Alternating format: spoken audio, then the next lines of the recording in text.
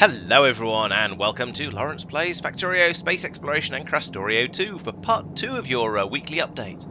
And in this update I'm going to talk about what's been going on down on Nauvis while I've been up in, uh, up in, up in space poking at the energy science. So first thing we're going to talk about here is, um, well, we're running rather short on plastic. So Mike has built up a new plastic town uh, using sort of modern um, system. So over here we've got, as you can see, it's all beaconed up nicely. And the beacons are neatly placed so the beacons on either side are getting the two chemical plants to either side of them and the uh, refineries above them. And presumably this is all reasonably well balanced. Um, um, jokes about how balanced Mike is can get can uh, we don't need to worry about right now. But the idea is that this means the point of this is that the these um, these speed modules in the beacon here will bring these buildings up to running at a decent speed again. So as you can see, this is running at plus 75%, plus 120% speed coming from that. So if these weren't if these weren't being uh, speed the speed moduled as well, these would be running very very slowly because each of these um, productivity modules drops your speed down by 15%. So these would be running at about half speed. So we'd need twice as many of everything here and that would mean we'd need, uh, and, we, and, then in order to get the same level of productivity, we need to have an extra uh, 12 um, productivity modules in those. But instead of having those, we've re we've replaced those 12 productivity modules uh, with eight speed modules, and that is a, a, massive saving, partly because it's fewer modules, but also because speed modules are cheaper than productivity modules. So this is what I've been getting at in the past when I've said talked about um, why it's worth doing this sort of speed module system, um, because modules are very expensive, at least the higher tier modules are very expensive instead of instead of using um, because you could get more instead of speed modules you can just compensate by putting in more and more and more and more and more and more machines. Now sometimes that can get a little bit silly but uh, in this this sort of level where you're only needing to double or triple the amount of speed you're getting out of them you, you could do it with extra machines but you'd require so many extra uh, productivity modules that it that it stops being worth it. Now the downside of this is that these things do use a huge amount of power. As you can see at the bottom there we're using five times the amount of power one of these machines would normally use. But given how easy it is to get large quantities of power in space exploration and Krastorio. Uh, I'm not too worried about that. I think we're absolutely fine with this. So yes, what's going on here? Well, we are we are making plastic. So the reason we're doing this is because over here we had we had big oil that was producing lots and lots of plastic beforehand, and over here you can see we've got loads and loads of machines making the petroleum gas, and these ones because they're not beaconed have got two productivities and a speed in there, and that means we're not getting as much uh, petroleum gas out for the amount of oil we put in because there's fewer productivity modules, and they're probably not running as fast because the speed modules might not be able to keep up with it. Um, yes, in fact, that's bringing it up to normal speed rather than slightly, rather than almost double. So, but the, the, main reason we've moved away from this is because this just wasn't producing enough uh, enough plastic. So we've got we've got a decent amount of it passing, being passed out along here, going into the station. But the system over here can produce it much much more quickly and and efficiently, and it's a bit more dedicated to that. So it's, it's a bit like the, sort of the bus systems. Over over here on the bus, we had originally we'll have had things like green circuits and red circuits being made on the bus, and then we've moved them off to their own separate build areas when we decided that actually this is running too slowly we need we need to have much larger quantities of these things. So we'll move the production off. And the same with smelting. We started off with smelting being on the bus and we thought and then until we actually needed to expand beyond that and we needed a lot more throughput so we started to move that move that off as well this is the same sort of thing.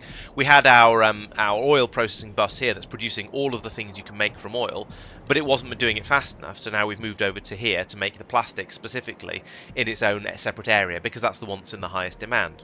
Other stuff that's in lower demand, like sulfur and rocket fuel and sulfuric acid, where this is still able to keep up, fine, we'll leave that being done over here. That's not a problem. But the ones that are that, that are struggling, you, we might as well move off. Now, it does occur to me that the problem with this is, as you can see by this train coming in here, we're priority, the priority priority is going to be to get the plastic from here rather than rather than over here, because this station is closer to pretty much everything that will require plastic. Not the LDS, but pretty much everything else that requires plastic is going to be closer to here. So we should potentially maybe cut this off and stop making plastic here.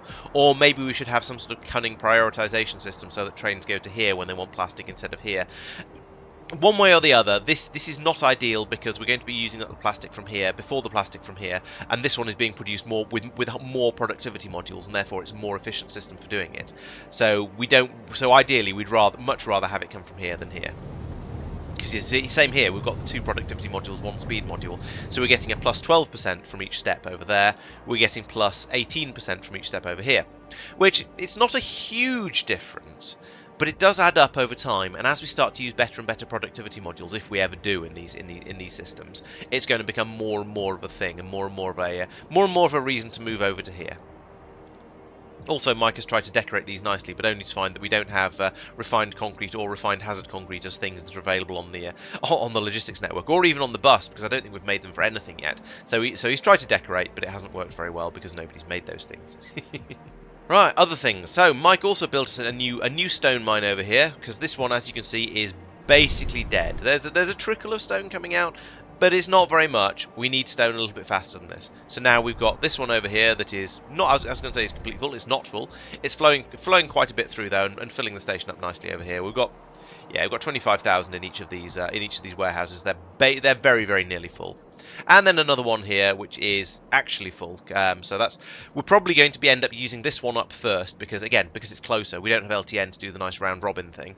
And then we'll move on to using up this one. And so when that one runs out, we'll presumably need to go off and find another another stone mine. But you know, that's um that's how these things go. Maybe at some point we'll get to, get to the stage where we're producing enough stone from our core fragment processing over here, uh, but I kind of doubt it the way things are going at the moment. The better alternative will be for us to go off to a um, a stone planet like uh, where is it? Like this one here, and and, and Androgen, Androgen. Um, it has Biter Meteors for some reason, which is odd because it's not. Oh, it has some Vitamelange on it. That's why. Uh, so we could potentially come out here and, uh, and start digging up stone from from this one and producing massive, massive quantities of it that we could ship back. But I think that's the sort of thing that normally you want to wait till you get spaceships to do that because it's a bit of a faff otherwise. So yes, he's digging up. He's built built a new stone mine. Um, he also built up a uh, copper mine somewhere. I think it was somewhere up up here in the north. Uh, probably this one up here.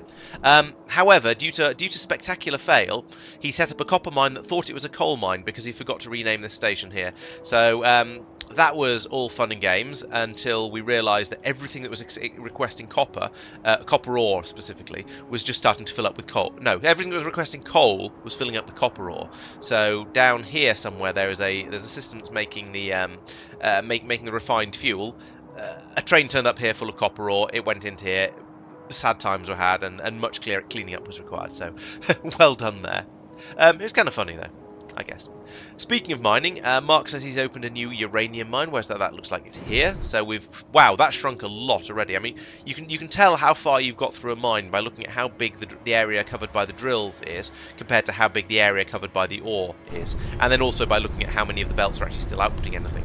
So yes, this was uh, obviously a fair-sized chunk, but it's all just gone um, basically into here and then been sh slurped up and presumably taken over here to the uh, uranium processing facility. So you can see the um, the the, the uh, centrifuges up here. They're actually running again now, so that's producing us a little bit of iron and oh, and a bit of uranium as a byproduct as well.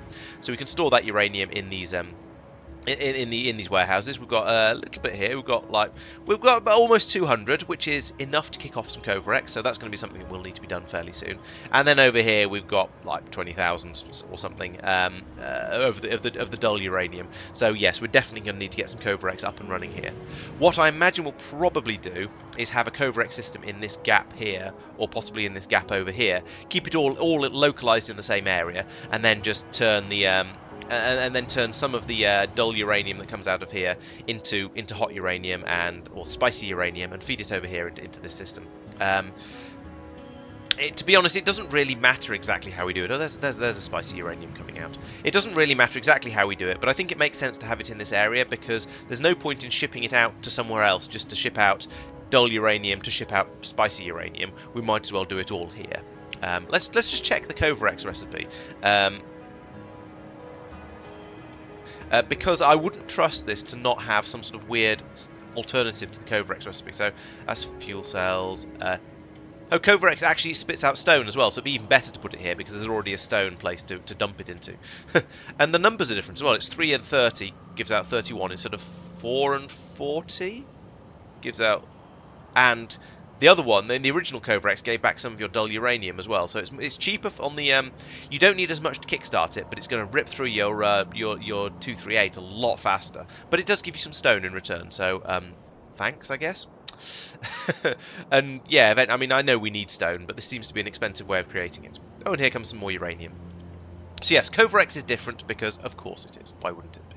Mark has also put in a copper prioritization system, which is um, I think it was quite that that was quite interesting. Oh yes, I remember what it was. So yes, down here we have we basically we have two inputs of copper and, and one output. So we've got the input that's being brought where it's being brought in from the mines by train, great, and then we've got another input where it's coming in over here from the uh, from the core fragment processing.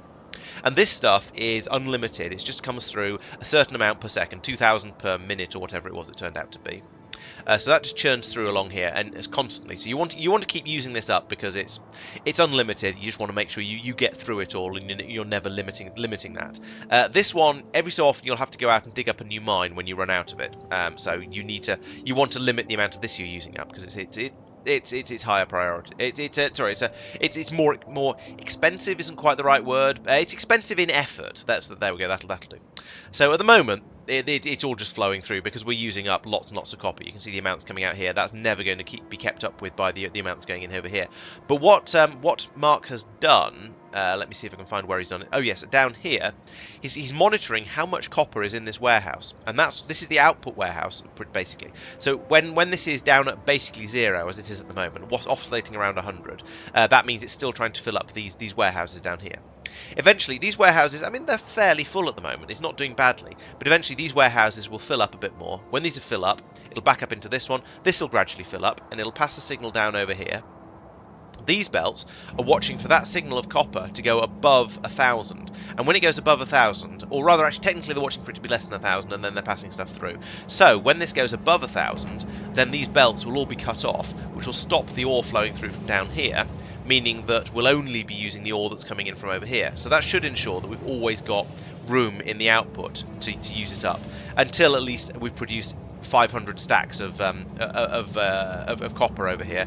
Um, and if we're using it that slowly, then yeah, okay, it's probably time to start letting that back up and turning it into landfill over here. But I think that'll probably never happen. So this just means if we have a bit of a lull in the amount of copper we're getting through, then we'll stop using it from here and we'll just we'll just concentrate on using it from over here, which which makes a lot of sense, and it'll keep it'll keep the amount that's coming through down a bit to the point where we can yeah where we can handle it.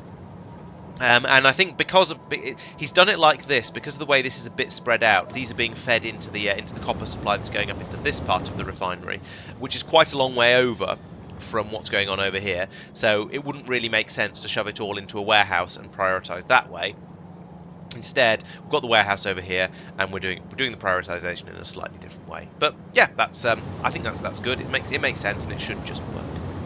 So that's most of the big projects that have been done. Mark did also um, finish off up here with uh, finishing off the railway systems allowed this uh, copper mine to be put in. He's put in a few more walls here and there, like I think this one's new. Um, I don't think that one's new. And he put in the one down here. Um, this one looks kind of scribbled because of the way the land goes. Um, this one down here because I, I pointed out in the last video. There's also been quite a lot of sort of going around just fixing up little things. So I, I built quite a to-do list after the uh, last video because I spotted lots and lots of things that were broken because I was looking at the base in a slightly different way. there's quite a lot of yeah, there's a lot of railway lines running around over here. What's, what's, what is that train doing? Oh, it's a core mine train. Okay, it's probably going oh, going to this core mine outpost here. So there's yes, there's been some putting in of new core mines down here. I think um, there's been some fixing up of the little little things like uh, not having any uh, heat shield tiles being fed through to rocket production over here. We've sorted out this system, which is was pulling all of the biomatter out of the chests of shame, um, but for some reason the chest was uh, the, the the belt was coming out of here and going into in, around into here, rather than going from the uh, from the warehouses and passing it back into here. So that's been sorted out and tidied up a little bit. So that's good. Uh, there's been some mines, old mines have been removed. I can't really show you that apart from saying, look, there is nothing here. It's been moved. There's a belt here though for some reason. Uh, that's weird. That's that's a weird belt. I don't know what's going on with that. Um, oh, it's because there was probably a yeah. There'll have been a mine here, and so this was the belt that was going out, taking the filters out to the mine, and now it's just not doing anything. It's just sort of passing them around, round, round in circles forever. So that should probably be removed as well. Tristan says he's made a display for how much of various the various resources we have. I don't know where that would be. um, what are you? Ah, here we go.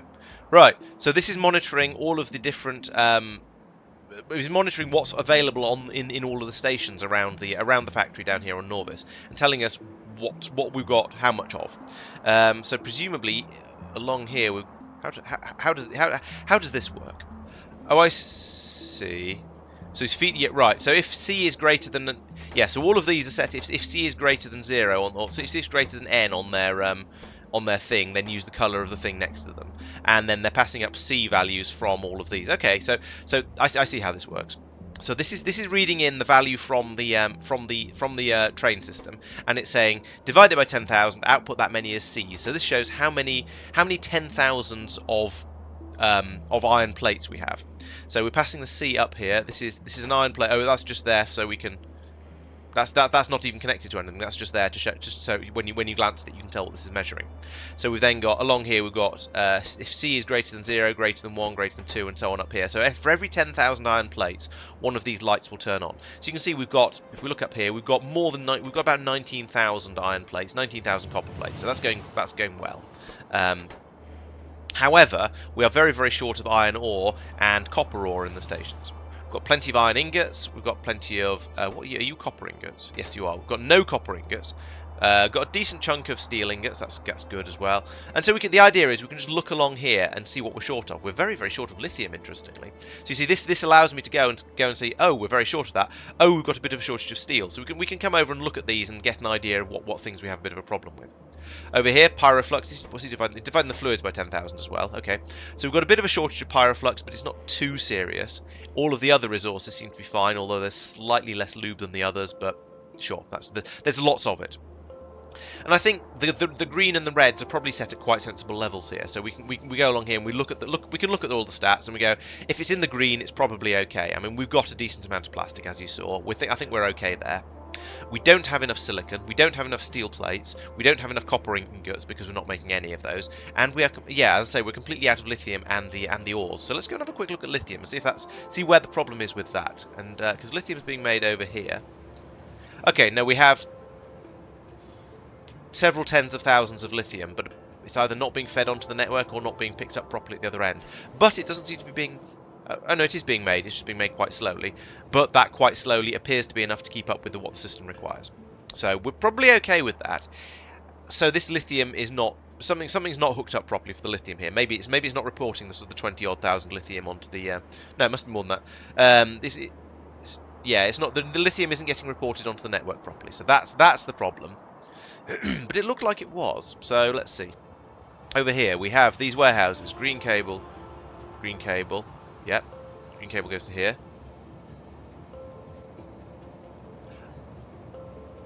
No, the green cable doesn't go to the warehouses. It only goes to the pylons.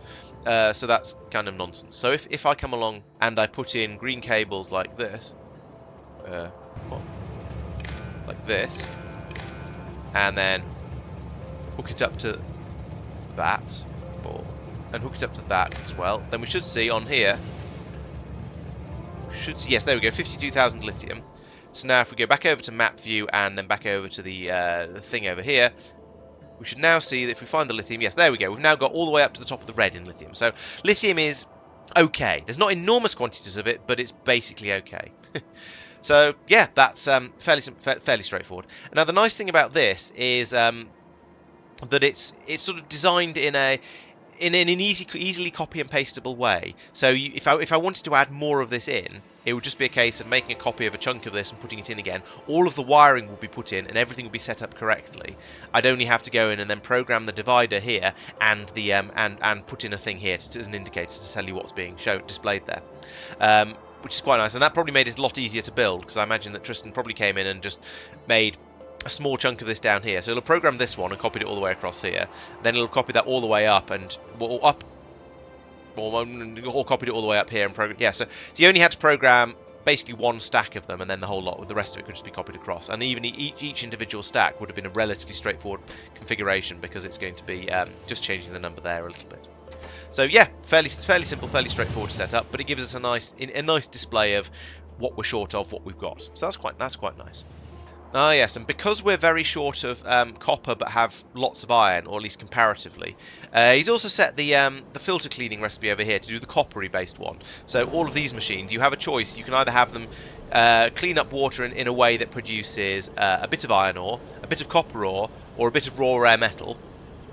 Or also, also apparently, um, oh no, these are these are separate. These are cleaning anion beads. Um, so we switched over from the iron one to the copper one because we're using up copper more, and that is clearly having a 10% chance of producing copper each time we clean 100 dirty water is clearly going to uh, solve all of our um, all of our copper supply problems. Obviously, it's not, but you know, every little bit helps, I suppose. So, might as well. He set up the building of quarry drills on the bus somewhere. Um, I, I, I, don't know. I don't know where. I'm not going to go looking for those. But those are the things you use to drill up imersite out of the ground. So that's that's nice. Expanded priority train waiting area. Uh, well, there's lots of train priority waiting areas. I think it's probably is it this one? Might be this one. Uh, oh yeah, up here. Oh, so this is just general. Any any train can go to, to here when it's waiting for pickup. Fair enough. So that, that's apparently expanded that a little bit. Mike spent some time designing up a fully beaconed and moduled system to um, produce to do basically to do this, but for copper. So eventually we'll have copper ingots available. Um, he was apparently it's a bit of a horrible tangle, but I think he might be going to build that next time. We shall see. But at the moment, because we don't have enormous amounts of pyroflux, we don't really want to start using too much of it up for, for making copper. It would help a lot because it would improve our productivity with it. Um, we get quite a lot more copper out for the copper ore we're putting in, which would really help given we've got a shortage of it. But since we absolutely need um, iron ingots up in space, and steel ingots are kind of useful for shipping steel to space. We've pri we're prioritizing the iron side because the, uh, the, the the copper one we can kind of compensate for with more mines. We can't do that with um we can't do that with the with the uh, uh, with the iron because we actually need the ingots. He's also put beacons onto the logistics network and he's challenged me to try and find where. Um, does that mean he's done something weird and horrible? I don't know. I'll have a, I'll have a quick look just to sort of to uh, to humour him and see if I can find it. Ah, here we go. that wasn't too bad. I was worried I was going to have to install the Beast Finder mod and uh, use that to search for it. But no, it's been, it's been put in here um, above all of the, sort of the logistics and chests and stuffs and all, all the furnaces and the smelters. So again, this is presumably one of those. Well, most of the stuff I need is kind of sort of roughly in this area mostly. So let's put it in here because it's got most of the ingredients I need. And I can't criticise that too much because that's kind of what I've done in space with my manufactories for making all of the um, all of the big stuff out there. Although that is slightly neater and a bit less spaghetti than this area. Although, although I think quite a lot of the um, responsibility for the spaghetti in this area is, is uh, goes to me because, um, well, firstly, I built the bus all the way along here and didn't leave very much space for expanding things, and secondly, I think I actually did build in some of the spaghetti around here. So, yes, definitely my fault. So yes, that's the uh, that's the end of the um, the smaller smaller projects. There's there's always little things that need fixing up around the base. So I think that's but that's those those are the ones that are at least worth talking about and are interesting. So yeah, as I was saying yesterday, next time we're going to be heading out to. Um, uh, Tristan's going to be carrying on out on Njord, trying to produce the um, holmium to, to, allow me to get the energy science running. I'm going to be fixing all the problems I found in the energy science and then going off looking for beryllium. Uh, maybe one of Mike or Mark will go off to look for iridium because we're going to need material science at some point as well. So uh, that would be that would be a useful thing to have. It's not a it's not too high a priority, but it would be but it will be will be useful in the not too distant future. So there's always lots and lots to be getting on with. As I said earlier, we also going to need Kovarex because I'm getting starting to get through quite a lot of uranium up in space where I'm making doing the uh, doing the energy sciences. There's always lots to do, so please come along and join us on uh, Mon Monday evening at 7:30 when we shall be streaming our um, our, our attempts to uh, to continue with this and see what we can get done next. I shall also be streaming on Wednesday when I should be playing Dyson Sphere program, so there's always lots to do in there. And um, there's other videos coming out as well, so uh, I'm doing reasonably well with Tuesday videos. I think they're coming out roughly every other week at the moment. If you're a supporter, you get to see them a week early. Uh, GTA videos are coming out most Thursdays at the moment, and yeah, there's there's always there's always lots going on on the channel. So make sure you're subscribed, and I'll see you next time. Thanks for watching, and goodbye.